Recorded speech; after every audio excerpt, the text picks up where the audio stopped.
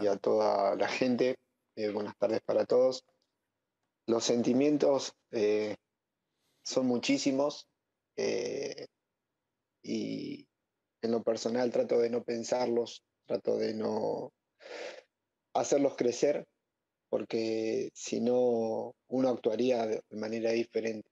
Entonces trato de poner mis pensamientos en el bien que nosotros hicimos a Lucio, con mi familia, con mi esposa, eh, los momentos que Lucio estuvo con, con en, nuestra casa. Porque vivió con ustedes, vivió con ustedes, con vos y con tu señora, con, eh, con Leticia, ¿verdad?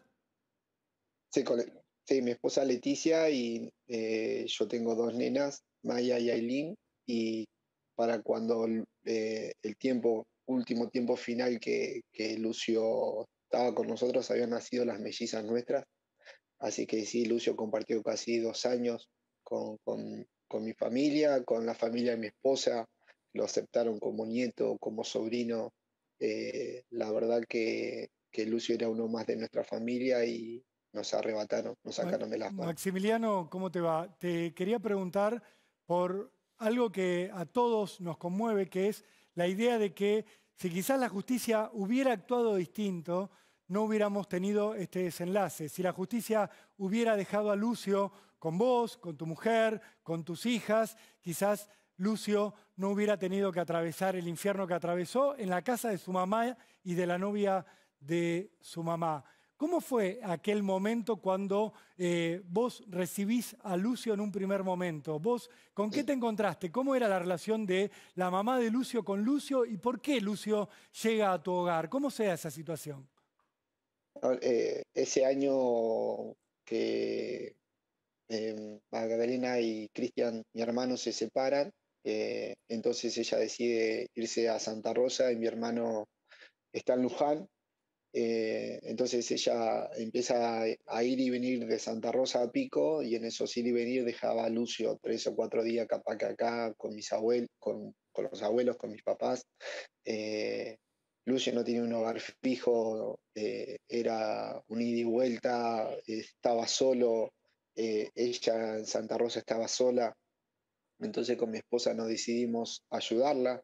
¿Cuántos años tenía Lucio en ese momento, Maxi? No te quiero interrumpir, pero... Lucio tenía, sí, un año, un año y medio, dos. Esa era la edad más o menos que, Lucio tenía. Y ahí vos decidiste eh, intervenir y, tratar de, tenerlo vos. Tratar de, que esté con nosotros. De, nosotros sabemos y entendemos lo importante que para un nene un hogar, una familia, eh, educarlo, poder educarlo con valores, poder poner un, tener un, lugar fijo de, un entorno importante para él.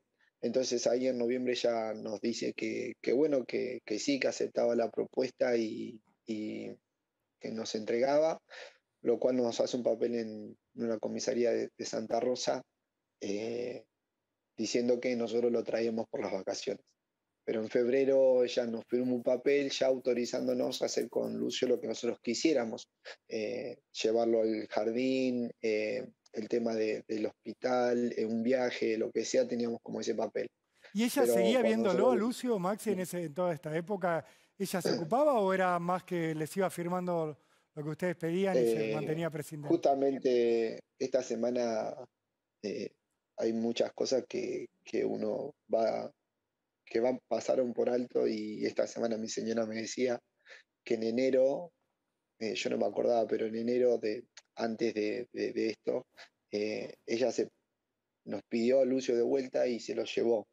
Eh, y Lucio estuvo dos días con ella, dos o tres días, porque el nene se brotó, le agarró una reacción alérgica y cuando lo llevaron a, cuando la llevó al médico, el doctor le dijo, esto es estrés por emociones, entonces ella ahí lo trae a, Lucio de vuelta y ya de, a partir de ese momento, ya cuando nosotros arrancamos con el tema tutela, el nene ya iba a la, guardería de acá y todo, ella ya no, no, apareció más. Ella venía a firmar y nada más. ¿Era estrés en un nene de dos años, nos estás contando, Maxi? ¿Un nene de dos años estaba estresado?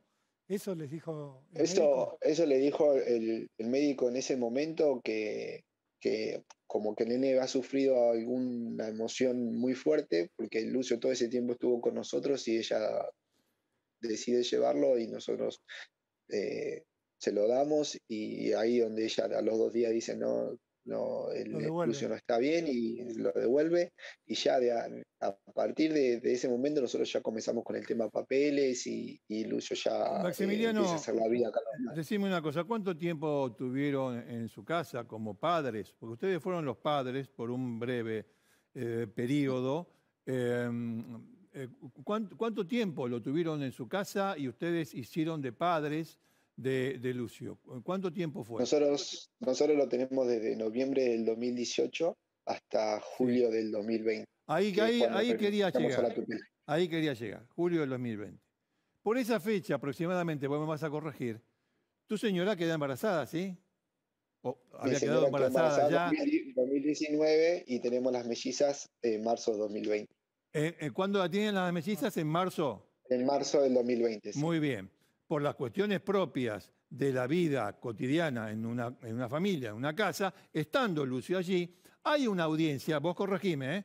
hay una audiencia por el tema Lucio en, en un jugado de familia, que tu señora, insisto, por esas cosas de atender la casa, no puede ir se hace otra, se, fija otra fecha para, para la audiencia.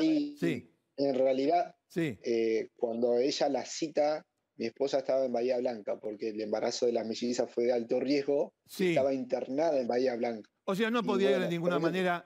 no podía ir de ninguna, manera. Se fija otra fecha.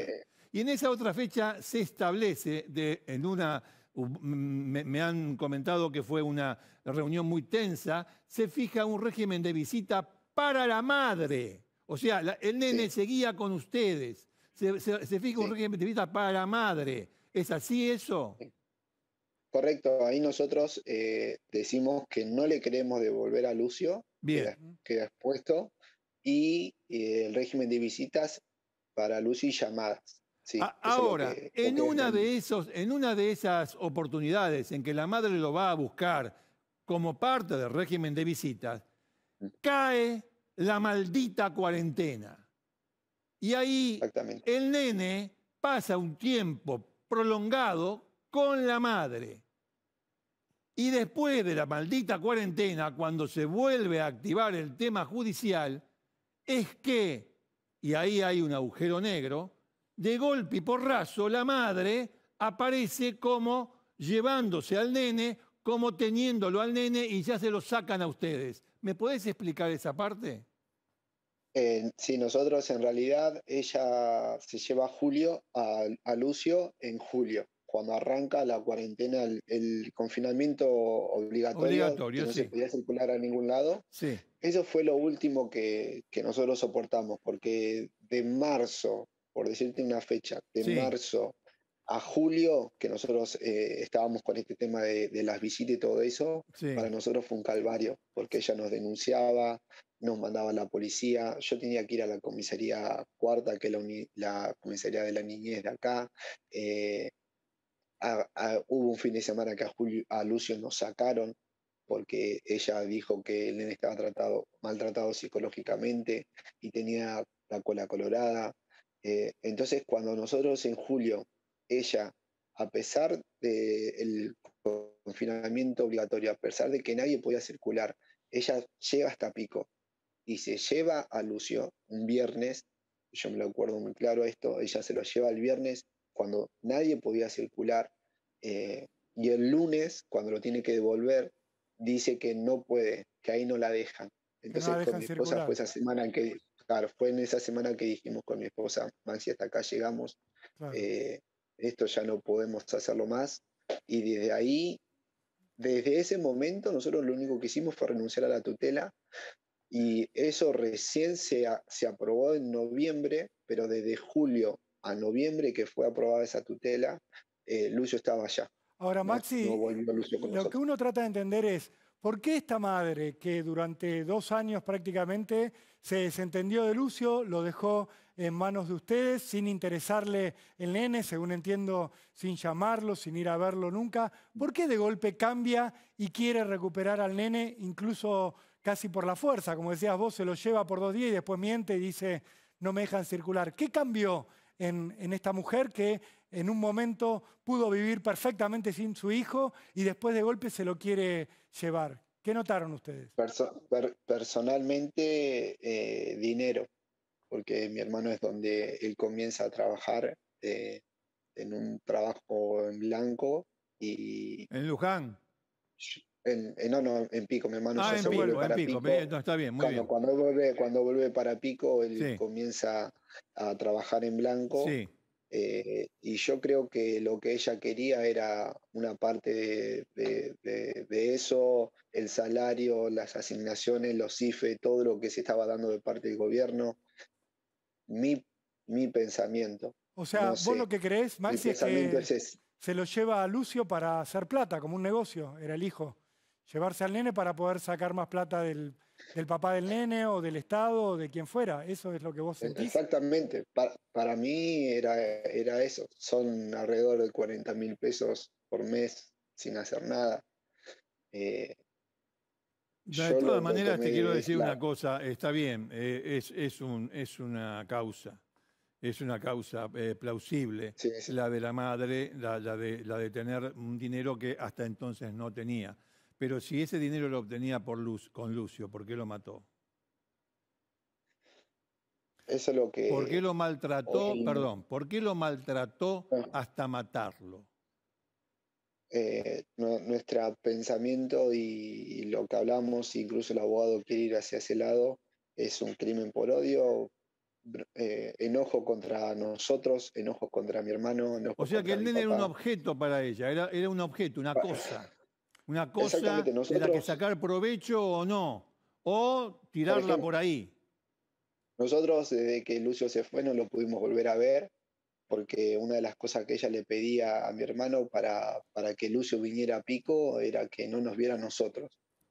Entonces te das cuenta que, era algo en contra de, lo que nosotros Le pedía plata también, Maxi, porque creo que fue tu papá el que contó que cuando querían hacer una videollamada los abuelos para ver al nieto, eh, ¿le tenían que transferir dinero a la mamá? ¿Esto es así? ¿O viviste alguna situación así? Eh, yo en lo personal no. Como yo le digo a todos, yo este año lo que pasó con Lucio no lo sé en profundidad, no, no tengo nada certero, sé por lo que hablan mis, mis papás, por lo que me dijeron mis papás o mi, mi, hermano, que sí, o sea, era así, si vos le dabas plata, ella estaba todo bien. Ahora, donde no le daba dinero o pasaba algo, se bloqueaban las llamadas, se bloqueaban las visitas, no vengas a ver a Lucio. Eh, la vez que se lastimó Lucio, eh, mi hermana tu, viajó eh, para llevarle dinero, entonces estaba todo bien porque le llevaba plata. Y, esa es la realidad. El tema de, eso quedó muy claro, pero recién estábamos viendo, bueno, lamentablemente volvimos nosotros, pero sería bueno poner la imagen el video de Lucio. del video de Lucio junto con el de Maximiliano, o el video de Lucio directamente. Este nene tiene la mano derecha este, vendada. O sea, algo le pasó. ¿Ese video de cuándo es? ¿Cuántos años tenía Lucio ahí, más o menos? No, no, eh, no eso, todo eso es cuando está con ella. No, no, sí, ya sé, pero más, o menos, claro, cuando estaba ya definitivamente con la madre. Sabemos ahora, Maximiliano, que la llevaron por lo menos cinco veces al hospital a Lucio con fracturas que disimularon cómo se cayó de la bicicleta, se lastimó un dedo jugando, tuvo un golpe fuerte en la cadera porque se tropezó en el jardín. Vos, que ahí, ahí estamos viendo otra foto de, tu sobrinito. Eh, con el ojo lastimado, estamos viendo también otra imagen con un brazo golpeado. Vos con todo lo que amabas a Lucio, cuando ves esto, ¿qué sentís? Cuando ves estas imágenes de Lucio. No, no, no, no puedo, no puedo hablar. No. Porque no pensamos que iba a llegar a esto.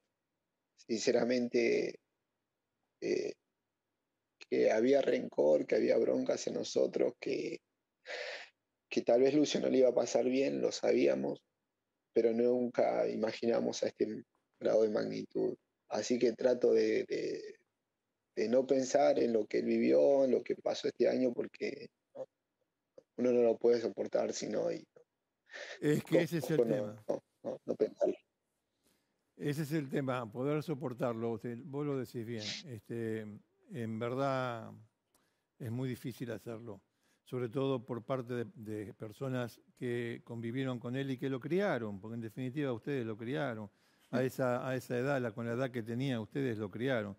Después parece que el nene estuvo a la buena de Dios. En realidad, si existiese un Dios, debió haber, debió haber puesto los ojos sobre Lucio para protegerlo un poco. Pero bueno, no, no, quiero, no, quiero, no quiero ir por ahí porque, bueno, hay gente que cree y gente que no cree. Pero estas cosas nosotros, no se nosotros en lo personal, nosotros en lo personal creemos, yo creo en Dios y, Lucio asistía a una iglesia donde nosotros estamos yendo hoy también. Eh, pero hay, hay algo y, que la gente tiene la libertad de elegir qué es lo que hace y qué no lo que no hace. ahí ya no interviene Dios. La última pregunta te quiero hacer. Eh, lo, de la madre, bueno, vos lo acabas de decir, Magdalena, etcétera, etcétera. Hemos hablado de ella. Eh, pero vos pensás que actuó sola o actuó influenciada? Porque detenidas hay dos mujeres. Eh, la verdad que no sé cuál de las dos fue, ni, si estaban las dos juntas. sé que se equivocaron las dos mal si fue Abigail, Maggie estuvo mal en permitirlo y si fue Magdalena, estuvo mal porque era la mamá. Bien. ¿Cuál de las dos fue y por qué lo hicieron? Eh, eso, lo, que lo hablen ellas. Eh, Maximiliano, este, eh, lo lamentamos muchísimo. Totalmente. Este, te damos todo nuestro apoyo.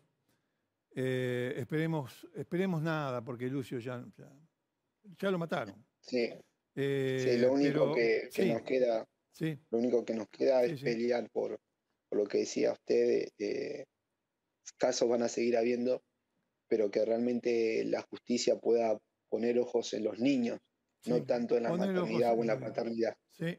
ojos en los niños, porque nunca miraron eh, de parte de, los organismos que trataron nosotros.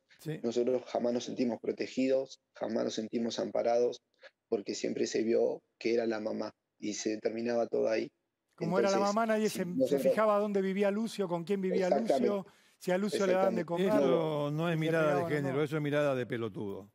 No, no hubo un este contexto, no hubo un contexto social en el que Lucio se encontraba, ni en el contexto que Luis se iba a encontrar. ¿Vos le guardás resentimiento a algún funcionario en particular, eh, Maximiliano? Porque me imagino que en este derrotero vos habrás ido enfrentando jueces, algún secretario. ¿Hay algún nombre, alguien que quieras decirle algo o responderle por algo que le pediste que hiciera y no hizo? ¿O preferís que nombre, así? Sí, no, nombre, nombre no, no sé, porque la verdad que, no sé. Sé que eh, yo cuando iba a la comisaría cuarta de la niñez, eh, en la comisaría cuarta que están con los nenes, ellos me decían que era la mamá y que iba a estar mejor con la mamá que en cualquier otro lado. Eh, unidad de niñez, cuando ella no hizo la denuncia, nos quitó a Lucio de las manos sin preguntarnos nada. Y, bueno, y, después eh, también la, hoy me entero que, en este tiempo me entero que la jueza que, que acepta la renuncia nuestra tendría que haber hecho un seguimiento sobre, sobre Maggie y habernos también preguntado nosotros por qué lo hicimos. Claro. Nosotros esos cuatro o cinco meses no nos sentimos protegidos y tuvimos miedo. Por eso renunciamos a la tutela de Lucio.